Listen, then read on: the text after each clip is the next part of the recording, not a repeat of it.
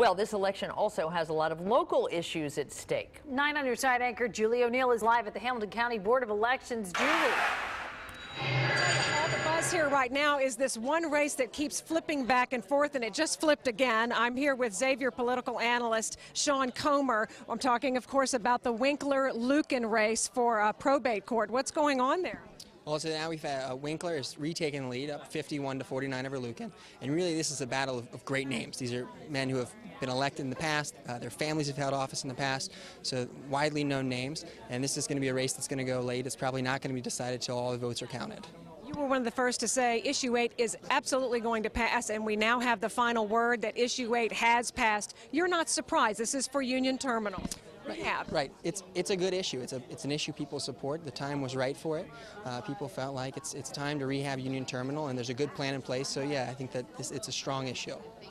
Okay, I had one other race I wanted to ask you about, um, and it was the Winburn race and Cecil Thomas. You were the first to say Winburn's not going to pull this out. Your cohort at Xavier, uh, Dr. Gene Beaupre, said it was an uphill battle for Win- Winburn. You concur?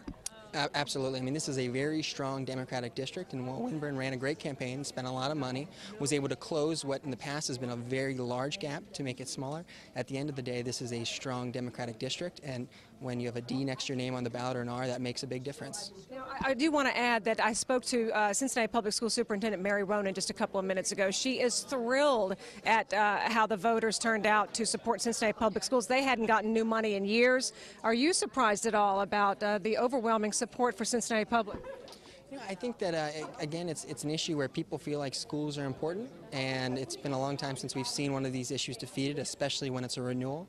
When it's not an increase in taxes, when it is a renewal, people are much more likely to say yes. All right, again, Sean Comer, Xavier University. I'm Julie O'Neill, live at the Board of Elections. We'll keep you posted on how things are shaping up here. Back to you.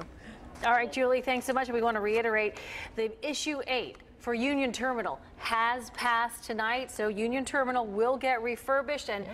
Taxes will go up by, you know, five cents for every $20 spent, yeah. something yeah. like that. Yeah, big, big victory for them. Throughout the